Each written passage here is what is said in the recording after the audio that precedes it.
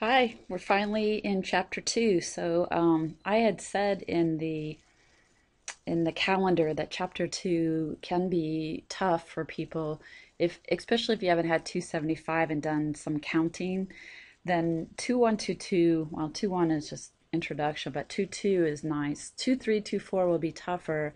It's permutations and combinations, and if you've never seen it, then that's it's a little tough for that reason, not because it's really a hard topic. It's just it it takes a while to get used to um, how to count and with replacement, without replacement, and all that's going to make a difference. So um, don't don't be sad about that. That is that is a harder section for people.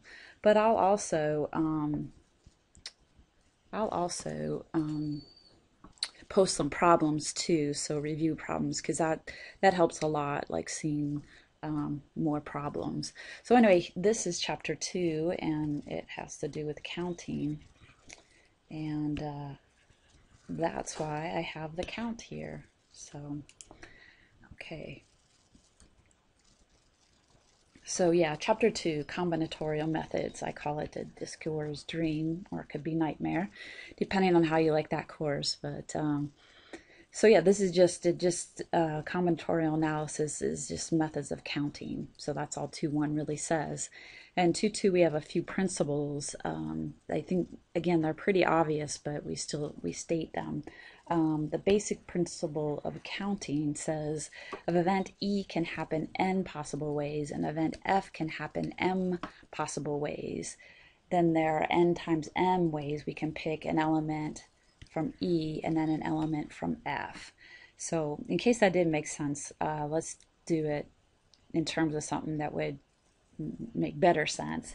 Um, let's say for the fall homecoming, uh, there are a thousand guys that are eligible for a homecoming king and 300 women for a homecoming queen. How many different king queen pairs could we have? If you want to think of it this way, we could actually make a tree, right? So here's, we'll say man one, man two, man three, all the way down to man a thousand. And then off of this, uh, if man one is chosen, there's woman one, woman two, all the way down to woman three, 300. So imagine a, a, for each of these male branches, there's 300 female branches. So there's a thousand choices for the male times 300 choices for the female. So there's 30,000 different. Um, is that right? One, two, three, one, two, three, four. I'm missing a zero sorry about that, um, 300,000 possibilities um, for the homecoming king queen pair. Okay, um, the next just extends that basic um, principle of counting in case you have more than just two events happening, um, N1 events of E1, N2 events in E2, and K event, events in EK. You're just multiplying all those N's together. So here's another one. Uh, a planning committee um, consists of three freshmen, four sophomores, five juniors, two seniors. Um, out of that committee, we're going to make a subcommittee of four where we get to choose um, one freshman. So if you think about it, we have three choices for freshmen, freshman one, freshman two, freshman three. Um, sophomores, we have um, across that four choices. So sophomore one, sophomore two, sophomore three, sophomore four. Imagine there's four branches off of each of those. Five juniors, two seniors. So if you built this whole tree, three choices for freshmen, four choices for sophomores, five choices for the junior, and two for the senior. So um, 12, 10, 120 different subcommittees are possible. Um, with a unique freshman, sophomore, junior, senior for each. Um, this problem I like. Later we can do it as a combination, but right now I don't even, maybe, yeah, do I think it fits in this section? Yeah, actually I guess I do. Um, sorry, we have a new dog, so you might hear some of that too. Um, Lady Gaga is going to have a Memorial Day party, and she's inviting over 25 friends. Um, if each guest shakes hands with everyone else at the party exactly once? What's the number of handshakes? Let me see, if each guest, so I'm just, I guess I'm just including the 25 people. So uh, there's lots of ways to do this, but um, if we were in class, we'd talk about it. I'm, I'm going to line up my, uh, here's my 25 friends coming to the party. Um, they're all waiting to get in. So imagine once person one comes to the party, there they are. Um, okay, they're done. The first person came through the door. The next person that comes through the door, um, they actually will shake one person's hand, right? Just this guy. So they'll sit over here now, and he's out. Um, the next person that comes through will shake two people's hands. Um, so he'll be over there. Then he's out. Um, the next person will shake the next three people's hands. So we have one plus two plus three plus all the way up to let me see the first person we just so this would be one. So we should have up to 24 I think. Um, the sum i i equals 1 to 24 isn't this just 24 times 25 over 2 there's a nice formula for this right? Oh this is going to look pretty cheap. I'm just trying to remind myself if I believe that formula. So sum i i equals 1 to 24 um, 300 is that what I would have gotten? 24 times 25 divided by 2 yeah, okay, so my formula was right. Um, so actually, there's 300 different handshakes that will take place.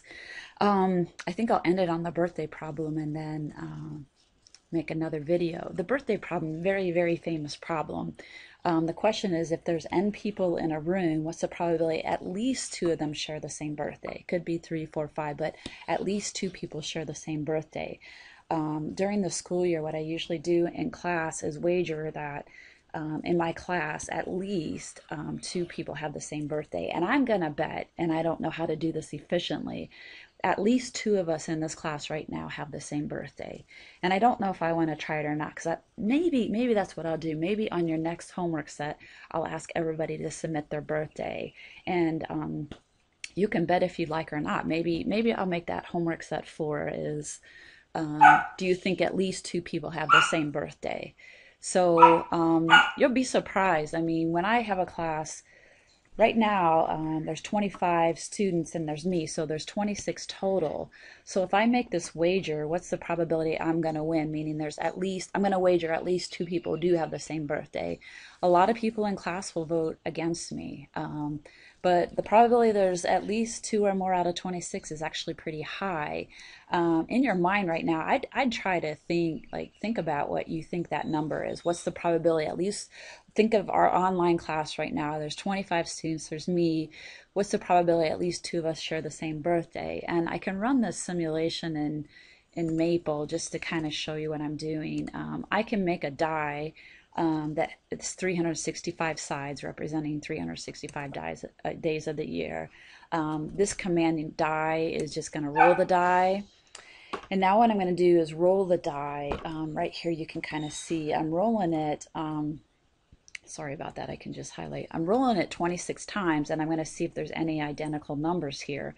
That would mean out of 26 people, two or more match. So um, I rolled it, I actually asked the sort so I could look quick, but I'm looking through the numbers and it doesn't look like anyone in that set matched. Okay, so one try out of one try so far and nobody matched. So here's another one right there. You see, there's there's a match right there. So um, so now it looks like a half probability. We've done it twice. Again, it's a small sample size, but I'm just kind of looking fast if there's any others. Um, but yeah, there's one 11 11. So out of two times, at least one of those. Oh, there we go, 67. So there's um, at least two people shared the same birthday. Let's do it again. Um, just looking quick, unless I missed one.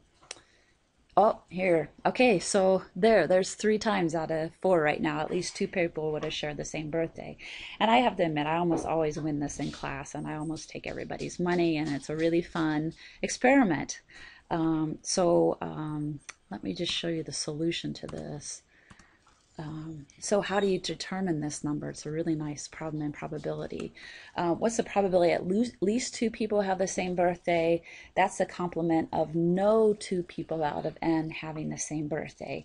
And that's a really easy problem to solve. So um, I'm going to say A is at least two people have the same birthday and A complement is no two people have the same birthday. So this is the first person. They have 365 choices. The second person, not to match the first person, has 364 choices.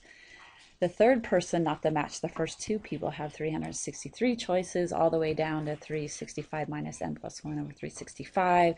I always have to think a little if it's minus n plus 1 or minus n, or that's a little confusing. But um, so in this formula right now, I'm going to go down 365, 364, 363, n is 26. And so I'm going to stop at whatever this is, 365 minus 26 plus 1. And actually, uh, you know, you can just multiply that or do a simple code. But I just wanted to see the probabilities if you had two people, three people, four people. So at 20 people, uh, it's already uh, 41% that at least two people will match. And you can see at my magic number 26, which is usually, I usually have 26 or more people in my probability class. There's about a 60% chance that two or more will match. Now, again, that's a probability. So if you want to take me up on this bet, um, I guess I'll do an IOU for next quarter and give you some some money or something. I don't I don't know. We can figure out what we're gonna wager or maybe bonus points or I don't know, maybe you have to make a video or I, I don't know, but um, I bet at least two of us in this class have the same birthday. So I think I'll, I'll write that into the next homework set and you can take a wager. Um, I'll go ahead and stop this and start the next one in a minute.